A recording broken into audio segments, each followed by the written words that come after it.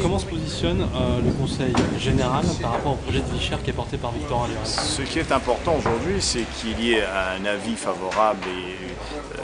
une démarche de la collectivité qui salue l'existence de projet de loi, parce que pour la première fois, euh, un gouvernement, et c'est aujourd'hui le gouvernement de Jean-Marc Ayrault, se préoccupe de la question de la vie